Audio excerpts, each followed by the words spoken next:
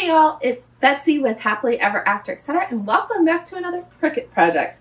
So today I am setting up my table for the big game. We are doing a football party y'all. And I didn't have any football plates because who has football plates? Um, and so I ran into my craft room, opened Cricut Access, pulled up some SVGs, and today we're making football plates. So this is removable vinyl, which means after the game, these just come off. They go back to being plain black plates. But for today, they are super cute football. Made a couple versions, made two of these and two that say Super Bowl. I also have matching drink stirs and a cake topper. So if you want to check that out, see the full table completed, I will link that video down below. It took about hour, maybe two hours to do all three things, mainly because I had to find all the files that I liked and design them.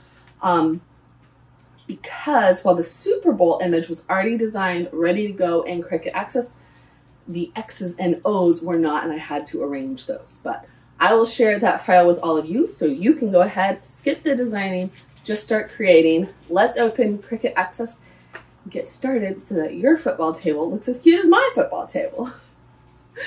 I'm pretty proud of myself. Let's go. If you are in Cricut, you're going to go ahead and open a canvas. Whether you open a new project or if you already have one that you're working on, you're going to open a canvas. Now I have already started working on this little project of mine because I already have a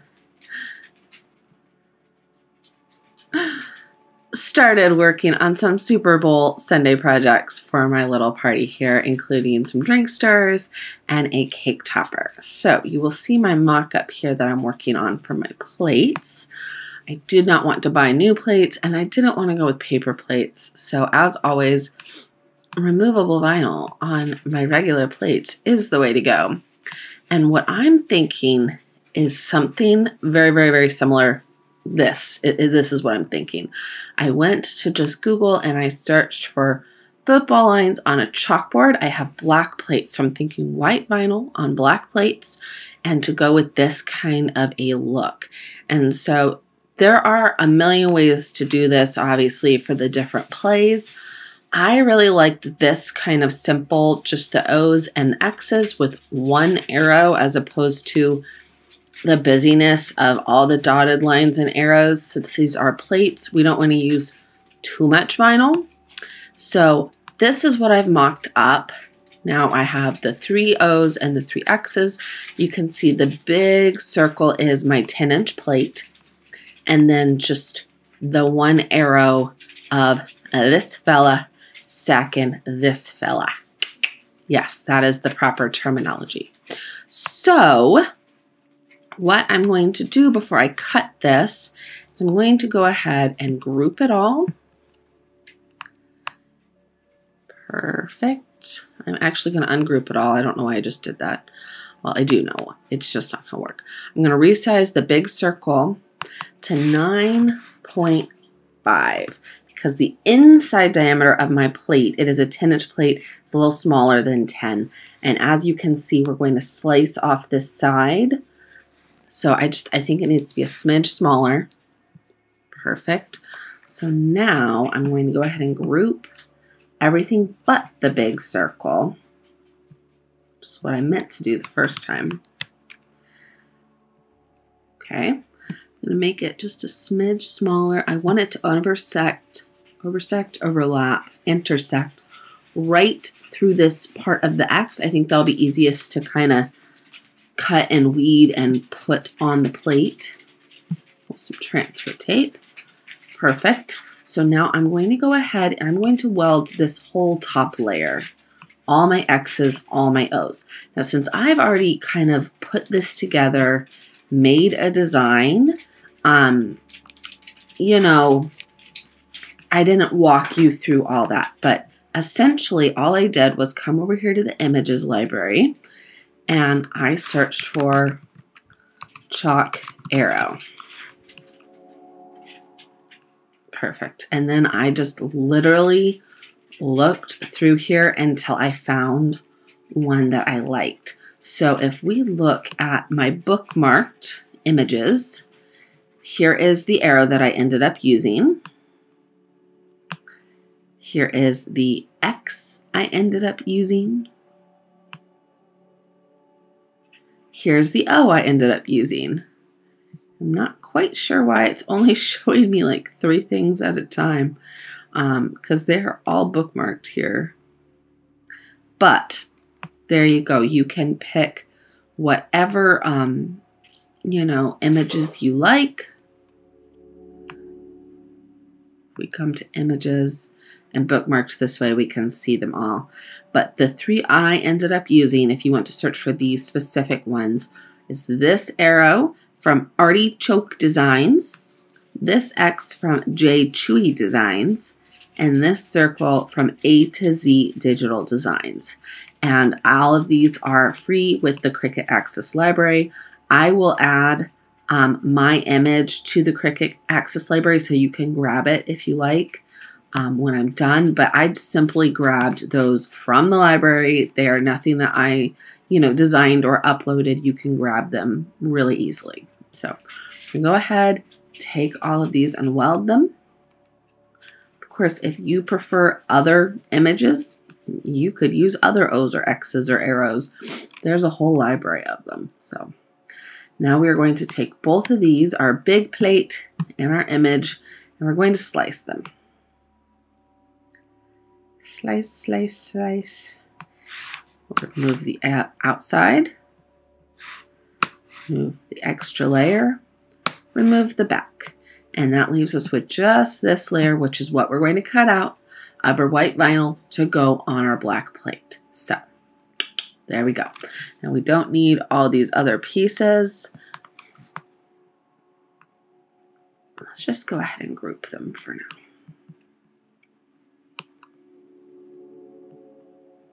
Can turn them all off at once because we've already cut these. I will link to this project down below the cake topper and the drink stirrers. But for right now, we're doing the plates. My whole idea for this is that I didn't want to go out and buy a bunch of party supplies. So I'm just, I'm seeing what I can whip up literally in an afternoon for this party. and I think it's going to be super cute. All right, so because this is 8.5 by 8.3, um, we cannot cut this on the Joy, but it is vinyl, so you should be able to cut it with your, you know, Explore Air 2, your Maker, um, any of the other Cricut machines pretty much. Click Make. I am going to be using a Smart Removable Vinyl, but you can use regular vinyl on a mat. Perfect. Since it's vinyl, we do not need to mirror it, so we are good to go. I am going to make at least two of these. I think I might do a couple different plates, maybe two of these and two of the ones to match my drink stirrers. That'd be cute. That'd be super cute. And now we need to just connect to our maker.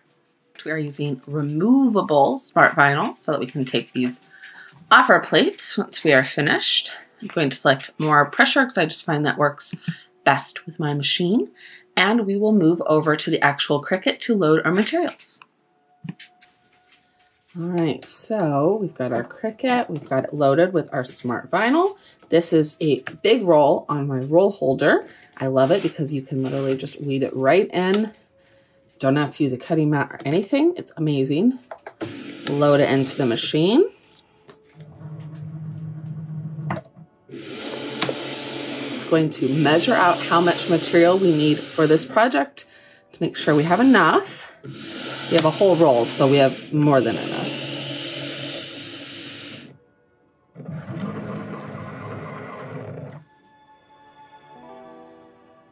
And then we will hit cut.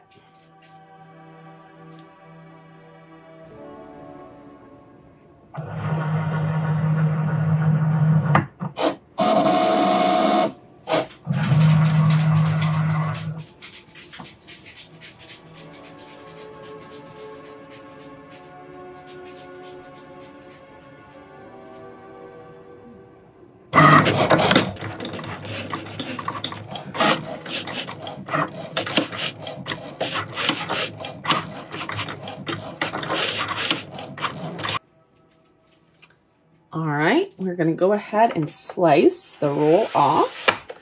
Now we can set this big bad boy away for another project. And eject our plate design. Now I did go ahead and I told it to cut two of these, which I forgot about on camera. So we're going to slice these apart.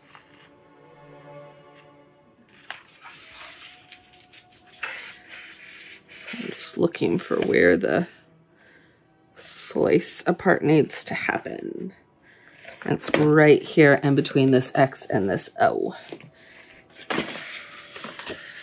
It's very hard to tell with white vinyl sometimes.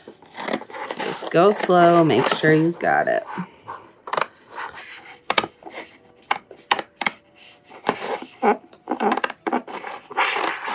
White vinyl is definitely one of the things that I use my uh, my Bright 360, my big floor lamp for, for weeding, or my light pad, either one.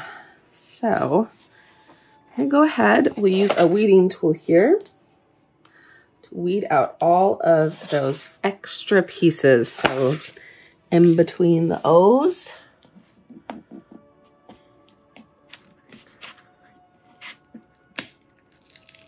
dun, dun, dun, dun. around the X's, around the arrow, the whole thing. The O's are the only thing, can you see how it has all these little pieces since I used a chalk line O that we need to kind of be more careful to remove all those little extra pieces. And then we will be ready to use some transfer tape to put these on our plates. So I will be back once both pieces are weeded. All right, we are all weeded. These are actually pretty quick to weed. Like I was saying, just the insides of those check circles was definitely the hardest. And I already transferred the first one to a plate and you can see, you can't really see, um, my transfer tape. I went ahead and cut around my O and my X here where we spliced so that I could fit these things directly into the corner of my plate. So I'm to try all my wisdom here to use the same piece of transfer tape because I've only used it once. And I would like to use it more than once. There we go. Perfect. Got this one pretty close. This one will need to be cut. So all I do is come in with some scissors We're not going to cut literally directly next to the vinyl because we don't want to actually cut the vinyl, but just right next to it. Like we're not trying to cut it out, we're just cutting right next to it. And that way we can fit that transfer tape right down into the curve of our plate. Get it as close as possible. Let's go ahead and transfer this baby puppies are playing in the other room. Can you hear them? Getting ready for the Super Bowl.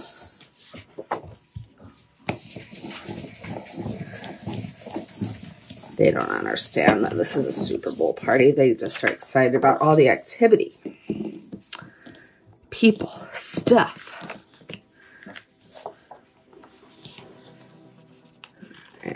See if that was enough scraping.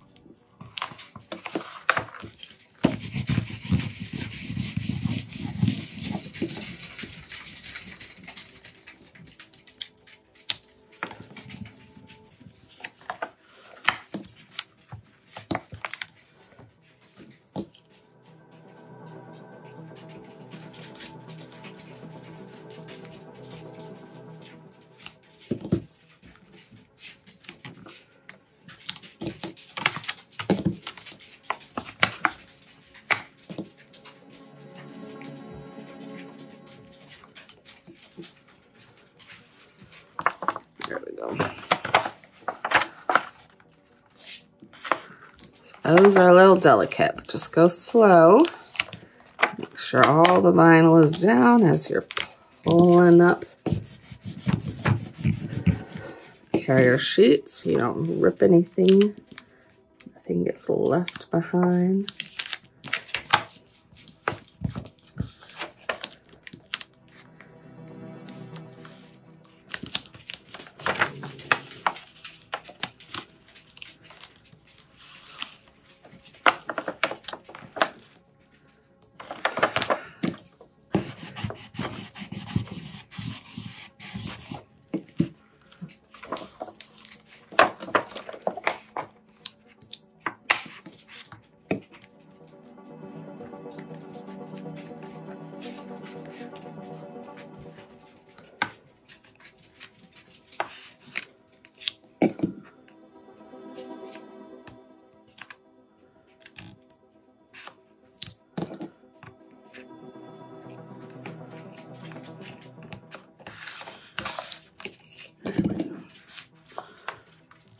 Circle did not want to stay there.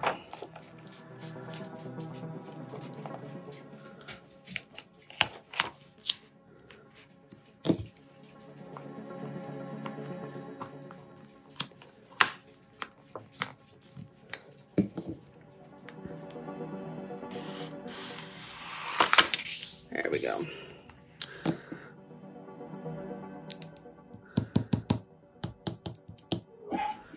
Perfect. now, let's put it on our plates. And I'm going to simply line up the curve in the corner, making sure that the rest is kind of just centered on the plate as best we can. There we go. Start in the corner, pushing it into the corner.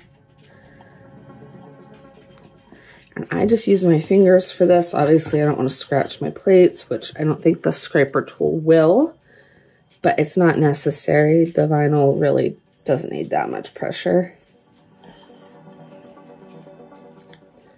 It is removable vinyl so that we can take it off when we're done. Go back to normal plates or decorate them for something else. This is how I did my Halloween plates any time of the year that I don't have a specific themed plate, uh, put some vinyl on it. It's not going to stay in your dishwasher, but you don't really need it to. You're typically only using it for a day or a couple days maybe. And it will stay, the vinyl will stay for at least one or two washes. So I am happy with that. I did two of this like football, gridiron, chalkboard uh, design. And then I did two of the same Super Bowl design as the drink stirs and the cake toppers. So go ahead, take these out. And let's put them on the island with the rest of our Super Bowl display.